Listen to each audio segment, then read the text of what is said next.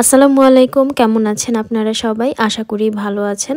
হুমায়রাস কিচেনের আজকের নতুন পর্বে আপনাদের সবাইকে ওয়েলকাম করছি।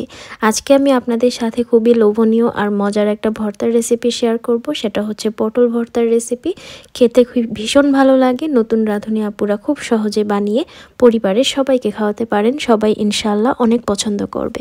আশা করছি আমার আজকের এই ভর্তার রেসিপি আপনাদের সবার কাছে অনেক ভালো লাগবে। চলুন তাহলে দেখে নেই আজকের এই মজার পটল ভর্তার রেসিপিটি নিয়মিত ভিডিও পেতে চ্যানেলটি সাবস্ক্রাইব করুন আর সবার আগে নোটিফিকেশন পেতে বেল আইকনটি ক্লিক করুন। রেসিপি বানানোর জন্য এখানে একটা পাত্রে আমি সাতটা পটল দিয়ে দিয়েছি। পটলের দুই সাইড একটু কেটে তারপর ভালো করে ধুয়ে নিয়েছিলাম।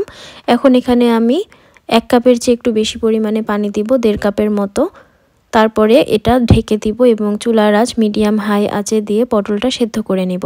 এমনভাবে পানি দিতে হবে যেন পানি না, পটল সেদ্ধ হওয়ার পরে পানি আর না বাঁচে মানে পানি একদম শুকিয়ে যায়, এরকম পরিমাণে পানি দিতে হবে। তো মাঝখানে উঠিয়ে দুটো কাঁচামরিচ দিলাম, সেদ্ধ কাঁচামরিচের স্মেলটা অনেক ভালো লাগে ভর্তায় সেজন্য। তারপরে আরও বেশ কিছুক্ষণ পরে ফিরে আসলাম, প্রায় দশ বারো মিনিট পরে। পটলগুলো একদম সেদ্ধ হয়ে গেছে, আর দেখেন পানি কিন্তু একদম শুকিয়ে গেছে। তো এখন আমি এটা নামিয়ে রাখলাম পটলগুলো, তারপরে পাত্রটা আবারও ধুয়ে এখানে দিয়ে দিলাম এক টেবিল চামচ পরিমাণে সয়াবিন তেল, তারপরে এখানে দিয়ে দিলাম কয়েক কোয়া রসুন কুচি আর কিছু শুকনো মরিচ। ঝালটা অবশ্যই নিজেদের স্বাদ অনুযায়ী দিতে হবে, আপনারা এখানে কাঁচা মরিচও ভেজে নিতে পারেন, আবার শুকনো মরিচ, কাঁচা মরিচ দুটোই ভেজে নিতে পারেন। যাদের শুকনো মরিচের সমস্যা, তারা শুধু কাঁচা মরিচ দিয়ে করবেন আর কি। তো আমার ভর্তায় শুকনো মরিচ ভালোই লাগে, অনেক ঝাল হয় আর কি। কারণ শুকনো মরিচ তো এমনিতেই ঝাল। তো আমি এইভাবে ঝাল দিয়েই করি। তো শুকনো মরিচ আর রসুনটা ভালো করে ভেজে নিলাম, নিয়ে তারপর তুলে নিলাম। এবার একই তেলে আমি দিয়ে দিলাম হাফ কাপ পরিমাণে পেঁয়াজ কুচি। পেঁয়াজ কুচিটা একটু বেশি করে দিচ্ছি, এতে করে খেতে ভালো লাগবে। আর পেঁয়াজটা যখন লাল লাল হয়ে যাবে, তখন এমনিতেই একটু কমে যাবে সেজন্য। তো দিয়ে আমি পেঁয়াজটা ভালো করে ভেজে নিচ্ছি। আপনারা কাঁচা পেঁয়াজ দিয়েও করতে পারেন, কিন্তু দেখা যায় যে বেশিক্ষণ রেখে, যদি আমি ভর্তাটা রেখে দিই, তাহলে কিছুক্ষণ পরে কাঁচা পেঁয়াজের একটা স্মেল আসে যেটা ভর্তায় আমার ভালো লাগে না। তাই আমি সবসময় চেষ্টা করি ভর্তা বানানোর সময় এভাবে পেঁয়াজটা ভেজে করতে। পেঁয়াজটা লাল লাল কালার হয়ে গেছে, আমি তুলে নিয়েছি। এখন পটলগুলো যেই প্লেটে তুলেছিলাম, সেই প্লেটে নিয়ে আমি পটলগুলো প্রথমে একটু হাত দিয়ে ভেঙে নিব। মানে মিক্স করে নিচ্ছি, দেখেন।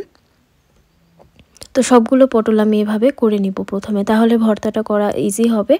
তো করে নিলাম। এখন আরও একটা পাত্রে আমি নিয়ে নিয়েছি শুকনো মরিচ, রসুন, তারপর সেদ্ধ কাঁচা মরিচ আর পেঁয়াজ। শুকনো মরিচের উপরে লবণ দিয়ে দিলাম। খুব সহজে ভেঙে যাবে, মুচমুচে হবে আর কি। মিক্স করা ইজি হবে। তো ভালো করে মিক্স করে নিলাম। প্রথমে কিন্তু লবণ দিইনি, এটা একদম ভর্তার জন্যই লবণটা দেয়া। তারপরে কাঁচামরিচ দিয়ে ভালো করে চটকে নিলাম। এরপরে রসুনগুলো আমি মিক্স করে নিচ্ছি। একটু ভেঙে নিতে হবে, তাহলে খেতে ভালো লাগবে, আস্ত রাখছি না। তারপরে পেঁয়াজ দিয়ে ভালো করে মিক্স করে নিব। তো এটা খেতে দেখেই কিন্তু বোঝা যাচ্ছে মানে পটল ভর্তাটা খুবই লোভনীয় হবে এখানে। শুকনো মরিচ, কাঁচা মরিচ, রসুন, পেঁয়াজ, তারপর ধনিয়া পাতা দিব, সরিষার তেল দিব। তো এগুলো দিলে কিন্তু যে কোনো ভর্তা এমনিতেই অনেক মজা লাগে, তাই না?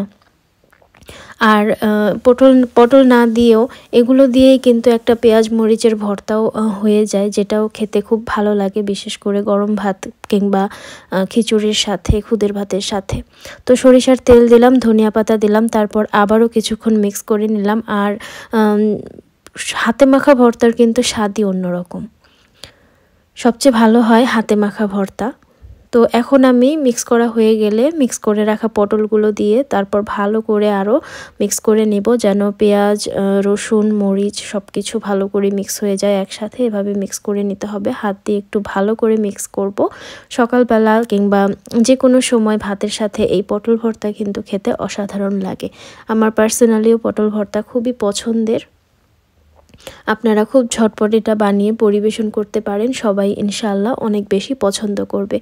তো ভালো করে মিক্স করে নিলাম। আমার ভর্তা একদম রেডি এখন আমি আলাদা একটা পাত্রে পরিবেশন করে নিব। আর অবশ্যই যেটা বললাম, ঝালটা, লবণটা নিজেদের স্বাদ অনুযায়ী দেবেন। তো আমার ভর্তা একদম রেডি হয়ে গেছে। আপনারা অবশ্যই এভাবে বাসায় বানাবেন। আর খেয়ে কেমন লাগল তা আমাকে কমেন্ট করে জানাতে কিন্তু একদম ভুলবেন না। আমার আজকের রেসিপি যদি ভালো লেগে থাকে, তাহলে অবশ্যই একটা লাইক দিবেন কমেন্ট করবেন শেয়ার করবেন আপনার প্রিয়জনদের সাথে। এমন আরও মজার মজার রেসিপি পেতে প্লিজ আমার ইউটিউব চ্যানেলটি সাবস্ক্রাইব করে রাখুন। Thank you so much for watching আল্লাহ হাফেজ।